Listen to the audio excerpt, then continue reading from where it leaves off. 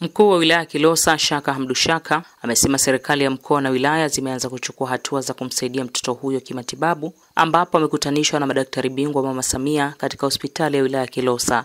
Mkuu wa wilaya amesema kambi ya madaktari bingwa Mama Samia imekuwa mkombozi, ikiwemo kutoa huduma kwa gharama nafuu, ambapo tayari matibabu ya awali na uchunguzi wa kibingwa ameanza kupatiwa mtoto huyo. Mwapati ya madaktari hawa ni pamoja na madaktari bingwa wa, wa upasuaji tukiamini kwamba watakuwa na msaada mkubwa kutokana na changamoto za wananchi wetu ambazo wamekuwa nazo hapa.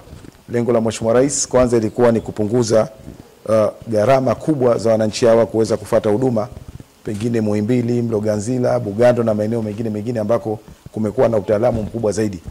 Lakini mbili ni kuhakikisha kwamba jamii ya chini kabisa nayo inahudumiwa katika mazingira yale yale, kuondosha matabaka kwa walichonacho na wasio nacho. Tunaamini kabisa ndani ya muda mfupi tatizo hili la mtoto Esther linakwenda kumalizika na atarudi na yeye katika kupata mahitajio yake yale ambayo anahitajia. Dr. Jacqueline Kilasi ni daktari bingwa wa upasuaji, amesema mtoto huyo alifanyiwa upasuaji ubavuni baada ya mfumo wake wa haja kubwa kuleta shida, ambapo ilipaswa kurejea kliniki ili kurudisha mfumo. Hivyo kwa sasa wanaendelea na uchunguzi, ikiwemo kutanua njia ya haja kubwa. Kwa sofa tulichofikia, tumeshauriana kwamba tumwangalie huku tumemrelax, tumemwekea labda dawa za usingizi vizuri, tumtoe kule, kuna choo kigumu kimekuwa formed huku chini, tukitoe kile choo tutanue, tuone kama njia yake iko ni nzima.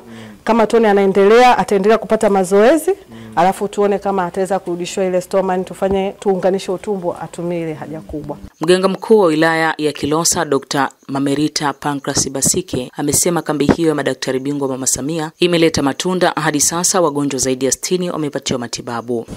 Daktari bingwa wa magonjwa ya kina mama na uzazi, mm. madaktari bingwa wa upasuaji yupo mm. na magonjwa ya ndani pamoja na magonjwa ya upasuaji pamoja na wataalamu wa usingizi.